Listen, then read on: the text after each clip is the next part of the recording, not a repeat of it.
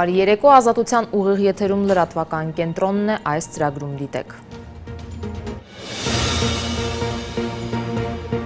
Հայաստանում կորոնավիրուսի 18 հաստատված դեպք կա բոլոր նոր դեպքերը հայտնաբերվել են արդեն մեկուսացվածների շրջանում։ Մարտի 1-ին ախտորոշված առաջին հիվանդն ապաքինվել է։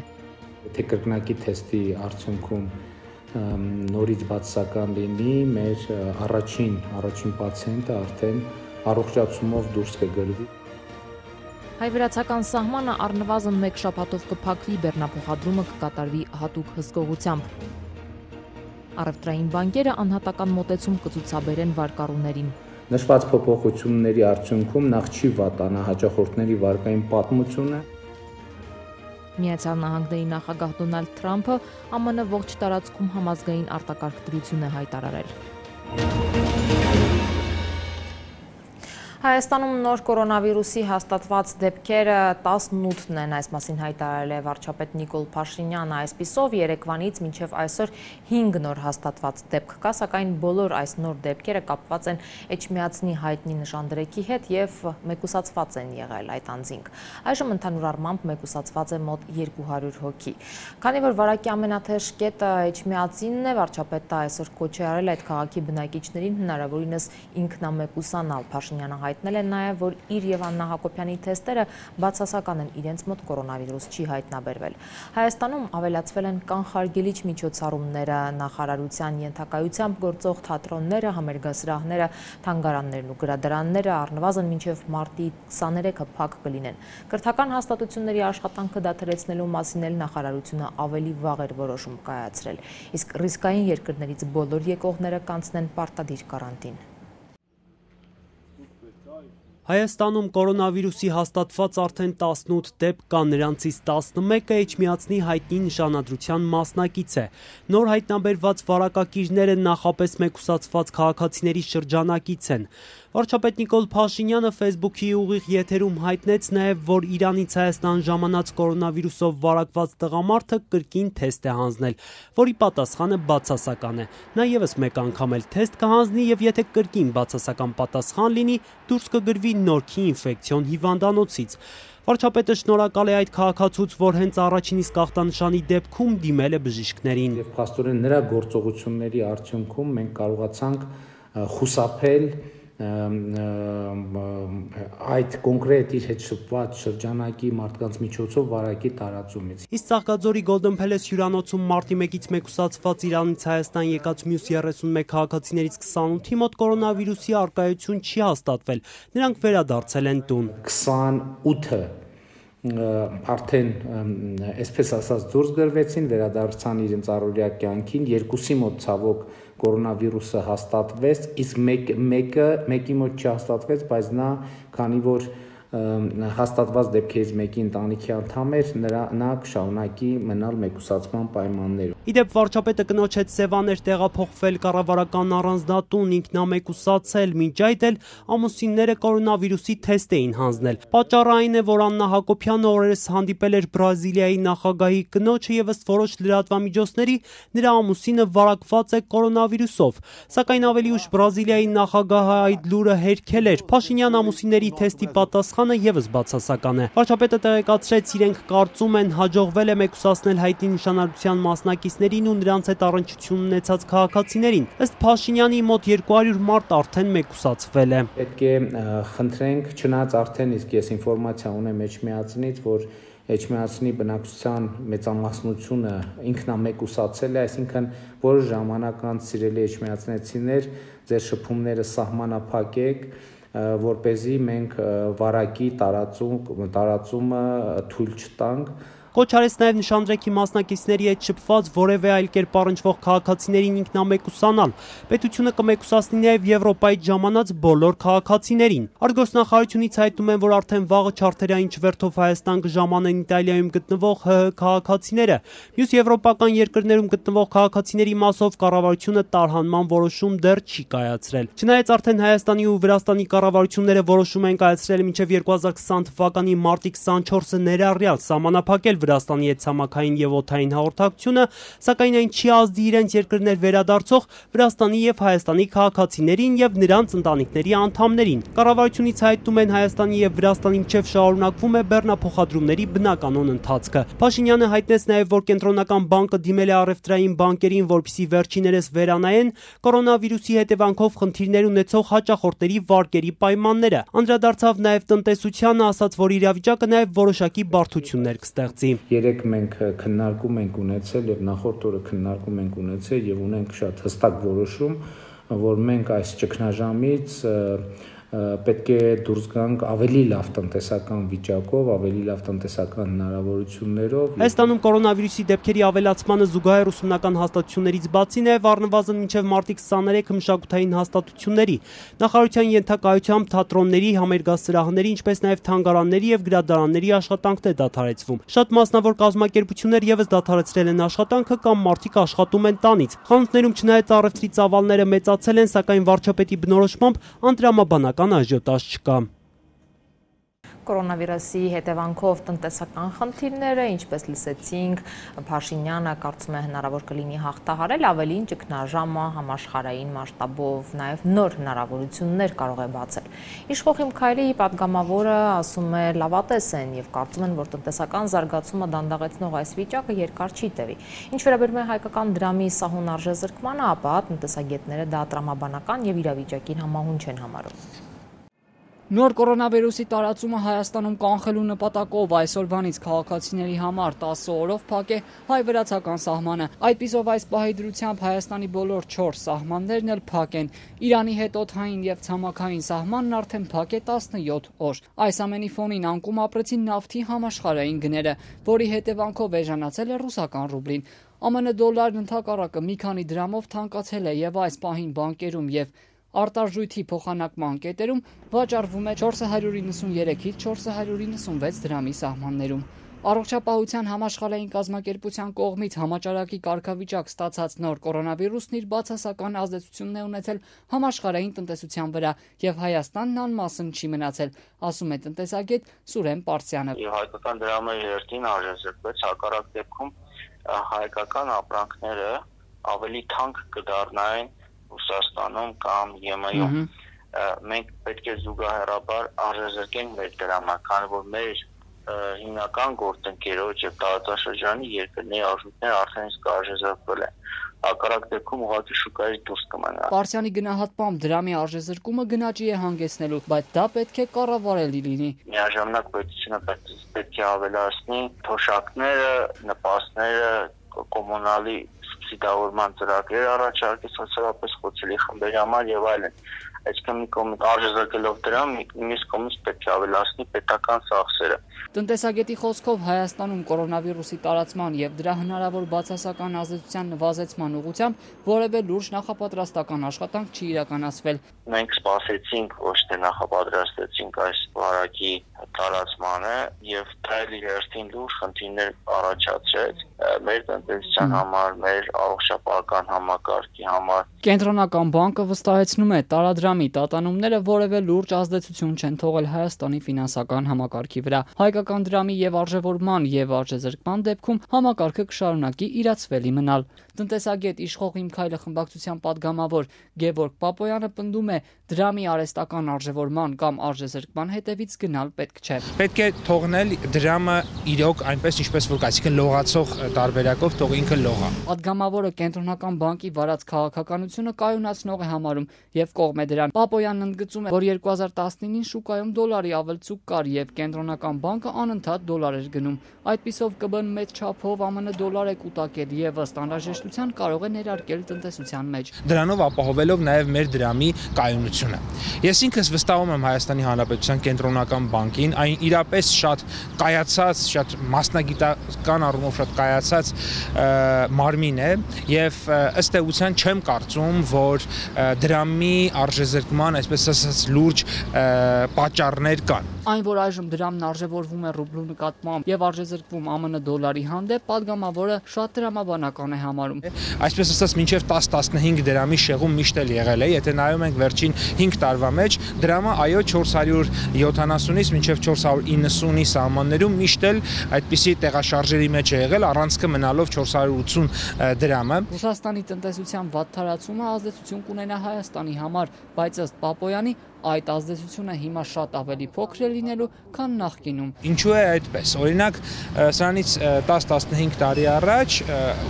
ուրեմն ուղակի մեր քաղաքացիների ֆիզիկական անձանց տրանսֆերտները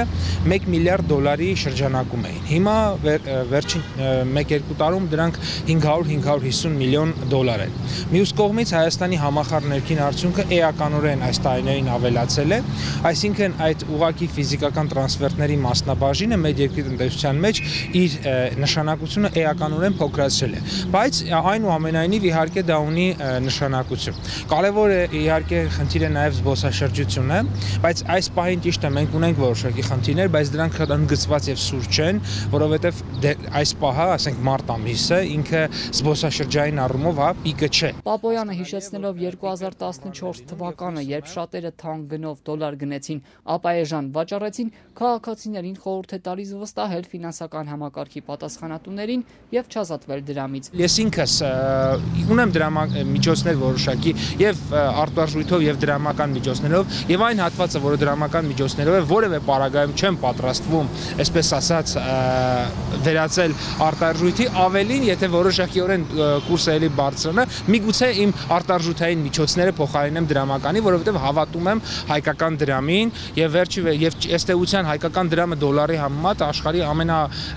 վերջին 5 տարում երևի ամենակայուն արժույթներից մեկն է։ Ոստիկանության անձնագրային եւ վիզաների վարչության պետ Մնացական Բիչախչյանը ազատվել է զբաղեցրած պաշտոնից Բիչախչյանը այժմ ոստիկանության ռեզերվում է։ Ոստիկանությունից ազատությանը փոխանցեցին, որ նա ազատվել է մշտապես իրականացվող կադրային փոփոխությունների արդյունքում։ Այլ տեղեկություններ ոստիկանությունից չեն հայտնում։ Մնացական Բիչախչյանը իր պաշտոնանկության մասին մեկնաբանություն չի տալիս։ Աշխատանքից ազատվել է նաև ոստիկանության, անձնագրերի եւ վիզաների վարչության պետի տեղակալ Գայանե Զարգարյանը։ Հիշեցնեմ փետրվարին կանադայից վերադարձած մի կնոջ վարչապետ Նիկոլ Փաշինյանին հասցեագրված նամակի կապակցությամբ ոստիկանության ներքին անվտանգության վարչությունում ծառայողական քննություններ սկսվել։ Իր նամակում կինը պատմում էր Հայաստան վերադառնալուց հետո քաղաքացիություն ստանալու գործընթացում հանդիպած բազմաթիվ խոչընդոտների մասին։ Ամերիկայի Միացյալ Նահանգների նախագահ Դոնալդ Թրամփի կարգադրությամբ Միացյալ Նահանգներում կորոնավիրուսի տարածումը զսպելու նպատակով համազգային արտակարգ դրություն է հայտարարվել։ Մինչ այդ նման ռեժիմը գործում էր միայն մի շարք նահանգներում։ Թրամփի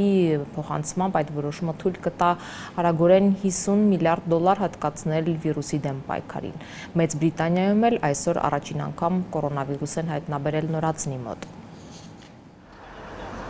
Անցած տարեվերջից բրընկված նոր կորոնավիրուսի էպիկենտրոնն այլևս Չինաստանից տեղափոխվել է Եվրոպա, երեք հայտարարեց առողջապահության համաշխարհային կազմակերպությունը փաստելով։ Վերջին շաբաթներին այստեղ ավելի շատ մահվան դեպքեր են գրանցվել, քան ողջ աշխարհում, Չինաստանը չհաշված։ Այսօր նոր վիրուսով հիվանդացության առաջին դեպքն է արձանագրվել նաև նորածնի մոտ։ Լոնդոնում լույս աշխարհ եկած երեխայի մայրը մինչ ծննդաբերությունը հիվանդացել է կորոնավիրուսով եւ հիմա բժիշկները փորձում են ողրզել երեխան մոր արգանդում է վարակվել թե ծնվելուց հետո։ Հիմա մենք ավելի շատ ենք նոր դեպքերի մասին հաղորդումներ ստանում, քան այն օրերին, երբ համաճարակը մոլեգնում էր Չինաստանում։ Երեք հայտարարեց առողջապահության համաշխարհային կազմակերպության ղեկավար Թեդրոս Գեբրեսիուսը դիմելով ողջ աշխարհի կառավարություններին։ You must take a comprehensive Դուք պետք է ավելի համապարփակ մոտեցում որդեգրեք, ոչ թե կիրառեք միայն թեստավորումը կամ միայն վարակվածների հայտնաբերումը կամ միայն կարանտինը, այլ այդ բոլորը միաժամանակ։ Նրանք, որ նայում են համաճարակի էպիկենտրոնում հայտնված մյուս պետություններին եւ մտածում, թե նույնն իրենց հետ չի պատահելու, խորապես սխալվում են։ Այդ իրավիճակը կարող է կրկնվել ցանկացած երկրում։ It can happen to any country Արձագանքելով մասնագետների զգուշացում հորդորներին, կառավարություններն աշխարհով մեկ սահմանափակումներ են մտցնում կամ ել ավելի խստացնում արդեն իսկ ընդունված նորմերը։ Միացյալ Նահանգների նախագահ Դոնալդ Թրամփը երեք հետևելով եվրոպական մի շարք երկրների օրինակին համազգային արտակարգ դրություն հայտարարեց։ Տասնյակ պետություններ փակել են սահմանները, արգելված են զանգվածային միջոցառումները, դպրոցներն ու համալսարաններն անցել են հերակա ուսուցման։ Իրանում, ուր վիրուսի տարածման տեմպը շարունակում է աճել, անվտանգության ուժերը տեղական լրատվամիջոցների դատարկում են փողոցները երկրով մեկ։ Եվրոպական մի շարք պետություններում, այդ թվում Չեխիայում, Բելգիայում, Իսպանիայում, փակ են ռեստորաններն ու մեծ հանրախանութները, գործում են միայն սննդի խանութներն ու դեղատները։ Լեհաստանը չի բացառել, որ կարող է հետաձգել մայիսին կանալիք նախագահական ընտրությունները։ Կառավարական սահմանափակումներին նաև մասնավոր սեկտորն է միանում։ Apple հայտարարել է, թե փակում է բոլոր վաճառքի կետերը աշխարհով 1 մինչև մարտի 27-ը։ Բացառություն կարվի միայն Չինաստանի համար, որտեղ համաճարակը վերջին շաբաթներին սկսել է կտրուկ նահանջել։ Երեք այստեղ նոր վարակի ընդամենը 11 դեպքեր արձանագրվել։ Դրանցից միայն 4-ն էին տեղի բնակիչներ, մյուսները վարակը բերել էին արտերկրից, հայտարարել է Չինաստանի ազգային առողջապահության հանձնաժողովի խոսնակ Մի Ֆենգը։ Երկրի ներսում սկիզբ առած հիվանդացության կամ վարակման կասկածելի դեպքերը մոտ 1 շաբաթ է սկսել են նվազել։ Վուհանում հիվանդների 72.9%-ն արդեն առողջացել է։ Հուբեյում այդ թիվը հասնում է 92%-ի։ Մեր երանդուն ջանքերի շնորհիվ հնարավոր եղավ վերահսկողության տակ առնել համաճարակի տարածումը, հետո նաև ամրապնդել այդ վիճակը եւ ընդարձակել։ 两千一百七十四人。Վիրուսի դեմ պայքարում առաջին լուրջ հաջողությունն արձանագրելով Պեկինը հայտարարում է, թե պատրաստ է հիմա աջակցել մյուս երկրներին տեխնիկական միջոցներով եւ խորհրդատվությամբ։ Խորհուրդների շարքում առաջինը շարունակում է մնալ աչալրջությունն ու արագությունը։ Նոր վիրուսի տարածումը կանխելու համար հարկավոր է գործել արագ։ Չի կարելի մսխել ժամանակը, որ տվել էր Չինաստանը առաջին հարվածն իր վրա վերցնելով, արձանագրում են առողջապահության համաշխարհային կազմակերպության փորձագետները։ Մասնագետները նաև հորդորում են չեղարկել զանգվածային միջոցառումները։ Հենց այդ պատճառով Փարիզի Էյֆելյան աշտարակը, Լուվրի թանգարանը, Մուլերուն շկաբարեն փակ են Երևանից։ Այսօր դրանց կմիանան նաև Վաշինգտոնի Սմիթսոնյան թանգարաններն ու Նյու Յորքի Բրոդվեի թատրոնները։ Իտալական Ֆլորենցիայի Ուֆիցին աննախադեպ որոշում է կայացրել։ Վիրուսի պատճառով փակված պատկերասրահն իր ժառանգությունը ի ցույց է հանել on-line Facebook-յան էջով։ Որոշեցինք այսպես ասած մշակութային դեղահաբեր մատակարարել Reuters-ին ասել է պատկերասրահի ներկայացուցիչ Քրիստիան Սպադոնին։ Ora abbiamo deciso di implementare la nostra offerta։ Մեր այժմյան պայմանները թելադրում են մեզ անցնել արտառոց քայլերի։ Որոշեցինք այս ճանապարհով մտնել իտալացիների ու աշխարհով մեկ ցանկացած մարդու տուն, ով այս պահին չի կարող այցելել մեր պատկերասրահ։ In questo momento trovano la porta chiusa։ Անցած շաբաթվանից Իտալիայի ողջ տարածքով մեկ կարանտին է հայտարարված։ Շուրջ 60 միլիոն մարդ զրկված է ազատ տեղաշարժի իրավունքից։ Երբեմնի աշխուժ ու աղմկոտ փողոցներում ամայությունը, ժամանակին զբոսաշրջիկներով լեփլեցուն վայրերում լռություն։ Իտալացիները սակայն չեն ընկրկում։ Սոցիալական ցանցերում Երևանից տարածվող տեսանյութերում երևում է. Մեծ ու փոքր քաղաքներում անգամ տանից դուրս չգալով սեփական պատշգամբում մարդիկ Իտալիայի հիմնն են երգում եւ հերվից ծափահարում շենք մտնող բժիշկներին ի նշան երախտագիտության։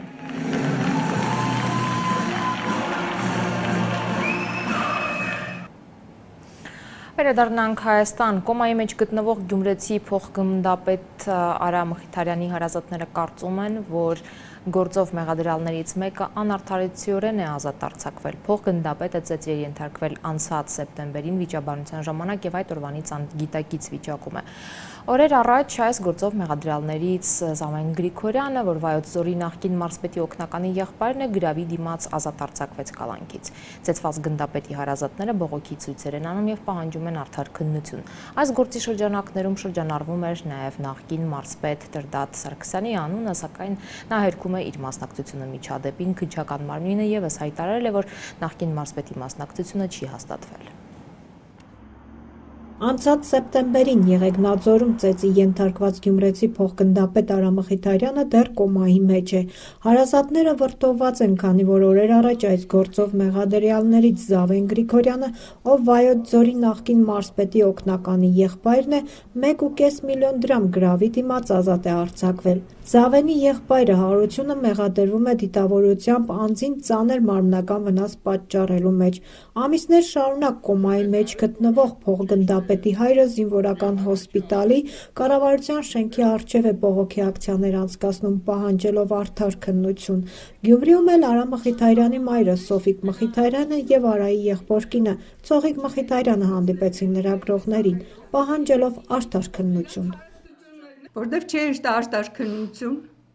որտեվ վայենի ոստիկանությունն ու վայենի օպերատիվ աշխատողներին թույլ չեն տա այդտեղ չեմ հասկնա ինչի ով որ իմ երեխիս հասցրել է իս դուրը պիտի բոլորը նստաձեղնին բոլորը պիտի պատասխան տան անկախ ամեն ինչից ում են ծանոթ ում են բարեկամ ում ով է թիգունքները անկախ ամեն ինչից բոլորը պիտի պատասխան տան երբ հանդիպավ վարշապետը փոքր եղբոր նման խոսք էր տվել, որպես մեծ եղբայր ես քեզ խոստանում եմ, որ աշտար քննություն կեղնի։ Աշտար քննությունը ո՞րն է, երբ ընդեղ մասնագիծ են եղել 6-7 հոգի։ Ընդեղից ընդամենը ցերպակալեցին Էժգուսին, ընդ որում մեկին էլ դուրս հանեցին դեկաշտեն գիտեք։ Մարսպետ Տրտած Սաշկսյանին էլ դուրս բերեցին,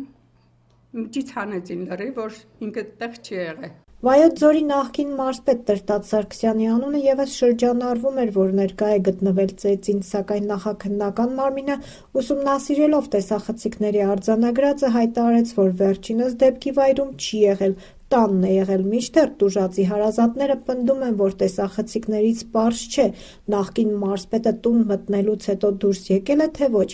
Բացի այդ, Արայի հետ միջադեպին ներկա գտնված մյուս զինծառայողները ըստ հարազատների ցուցմունքներում պնդել են նախկին մարզպետի ներկա գտնվելու հանգամանքը։ Սպաների պնդումով, սպաների սպաները նույնիսկ այնտեղ երբ կանցել կանչել են քննջական ամեն ձևի պնդել են որ դուք կանգնած եք եղել դուք չեք մասնակցել կարող է դուք չեք խփե բայց դուք այնտեղ կանգնած եք եղել դուք կանգնե ու նայել եք թե ինչ այդ 6 հոգին 7 հոգին արային ծեծեն Հենց այս միջադեպից հետո Վայոց ձորի մարզպետը հրաժարական տվեց։ Հիմա անազատության մեջ է նախկին մարզպետի օգնական Հարություն Գրիգորյանը։ Վերջինիս եղբայրը օրերս գրավով ազատ արձակված Զավեն Գրիգորյանը իր փաստաբանի հետ ասուլիս էր հրավիրել ու ներկայացրել, որ Արա Մխիթարյանը եւ ընկերները եղել են ոգելից խմիչքի ազդեցության տակ։ Այս հանգամանքը ըստ հարազատների մյուս կողմը փորձում է շահարկել սպաներին հարբած վիճակով ինքն ինչ վիճակի եղել երբևէ երբևէ կա այդ հետ իրա արյան անալիզներն ուշտես իրեն ինքն էլ կարող է մենք էլ չենք հեչ մի անգամ չենք սկսել բայց ինքն էլ կարող է թմրանյութի ազդեցության տակ եղել որ թույլ է տվել իրան ինչ խոսքեր է թույլ տվել որ սպաներն իրան հետապնդել են մյուս պահանջը Արա Մխիթարյանի բուժումը արտերկրում շարունակելն է քանի որ ըստ հարազատների տեղի բժիշկներն արել են հնարավորը սակայն 6 ամիս է փողգնդապետի առողջական վիճակի մեջ փոփոխություն չկա տեղափոխեք իմ երեխիս տեղափոխեք ինչ կենեք երեք իմ երեխիս բժշկեք իմ երեխիս բուժեք ինձ տվեք այնտեղ բժիշկներից տեղակ պահին որ իր բժիշկները մեռած ես դիք չդեմ նուժել է բայց մաշտիկ 3 տարով 2 տարով այդ ընթացքում էլ մաշտիկ դուրս կան այդ վիճակի չէ այդ ընթացքում այդ մարդկանց բջիջներն էլ մահացածոր հետո վերականգնվել դուրս է եկել Թող մի տեղափոխեն, թող տեղափոխեն իմ երեխիս, տանին ուժտեղ կուզեն, ինչ կուզեն, տեղափոխեն իմ երեխիս։ Սոֆիկ Մխիթարյանն ասաց, որ վարչապետն ու պաշտպանության նախարարը հանդիպել են այս օրերին Երևանում բողոքի ակցիա անցկացնող ամուսնու հետ ու խոստացել, որ քննությունը արդար կընթանա, մեղավորները կպատժվեն։ Հակառակ դեպքում զինվորականի մայրն ասում է, կդիմի ծայրահեղ քայլի։ Եթե հանգարց մեր կամ պահանջին ոչ մի արձագանք չեղավ, ես գիտեմ այդ օրերին ինչ կենեմ։ Ես իմ երեխեքից կառնում եմ կնստեմ շորշի մեջտեղը։ Քողպեկին կկրկեմ կերտամ կնստեմ շորշի մեջտեղը։ Դե վարչապետը կա քարոզ վարչապետն է։ Բոլորն են իր խելքը օգտագործել։ Միջազգային լրահոսի հիմնական նորություններին ծանոթացեք համառոտ տեսաշարով։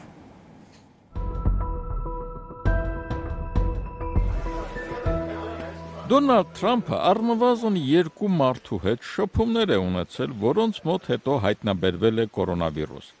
Անցած հանգստյան օրերին Թրամփը ճաշել է Բրազիլիայի նախագահի եւ նրա մեծ պատվիրակության անդամների հետ, որոնց թվում էր նաեւ կապի նախարար Ֆաբիո Վայնգարթենը։ Վերջինիս մոտ հիմա կորոնավիրուս է հաստատվել։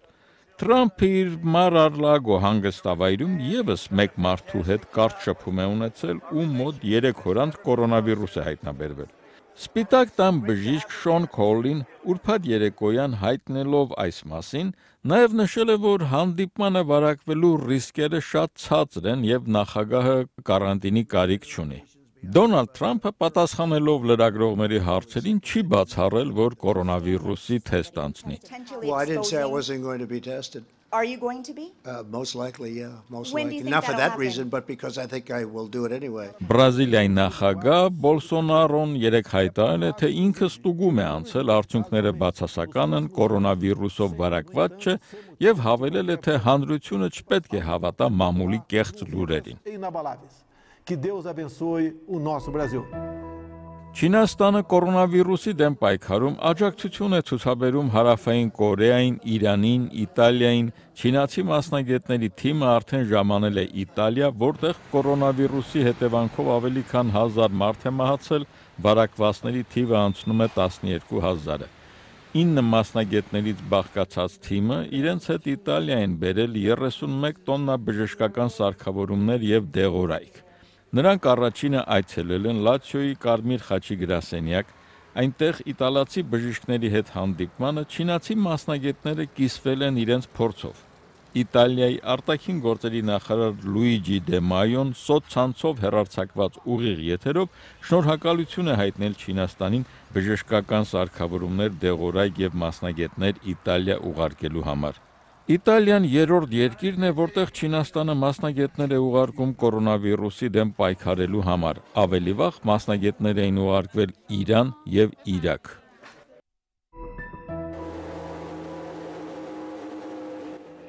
Կորոնավիրուսի համաճարակի պատճառով ամբողջ աշխարհով մեկ չեղարկվել են զանգվածային միջոցառումները։ Շանհայի Ֆորմուլա 1 Grand Prix-ի չեղարկումից հետո Ավստրալիայում Մելբուրնը եւս որոշեց չանցկացնել ավանդական ավտոբասքի մրցումները, մասնակիցներից մեկի մոտ կորոնավիրուսը հայտնաբերվել։ Ֆուտբոլում Չեմպիոնների լիգայի գալիք շաբաթ նախատեսված բոլոր խաղերը հետաձգվել են անորոշ ժամկետով, հետաձգվել են նաև 2022 թվականի ֆուտբոլի աշխարհի առաջնության ընտրական հանդիպումները,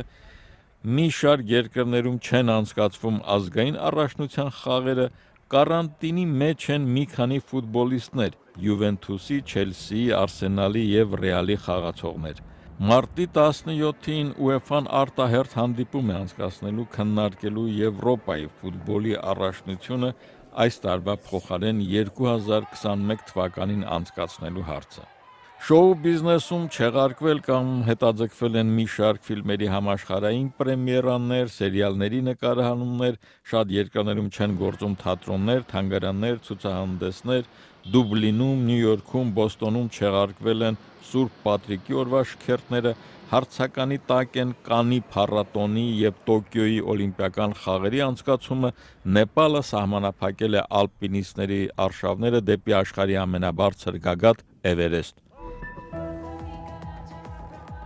Չնայած միջազգային մակարդակով հայտարարված համաճարակին, անհանգստություններին եւ վախերին, ուրբաթ օրը Հնդկաստանի Բոմբեյ քաղաքում բացվեց յուրաքանչյուր տարի անցկացվող նորաձևության շաբաթը։ Դիզայներ Ռահիդ Վերման ներկայացրեց բենգալյան հավաքածուն, երկարափեշ զգեստներով մոդելները մարմնավորում էին հանրության տարբեր շերտերի LGBT համայնքից սկսած միջև տարեց մարդկանց, միջև թունավոր գազերի հարցակումից փրկվածներ, բնականաբար ազգային երաժշտություն, ազգային տարազների նախշերով զգեստներ։ Նորաձևության փառատոնին մասնակցում էին նաև Բոլիվուդի դերասաններ։ Փառատոնի առաջին օրը թեմատիկ էր՝ նպատակային գլամուր։ Չնայած կորոնավիրուսի սպառնալիքներին Բոմբեյի փառատոնին լիքը մարդ էր մասնակցում, նստելու տեղ չկար։